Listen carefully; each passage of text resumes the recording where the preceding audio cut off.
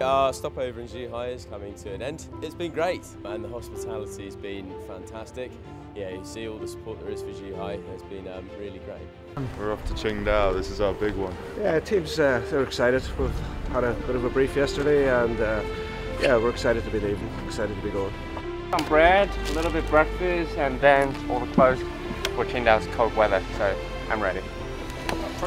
No. Qingdao, baby.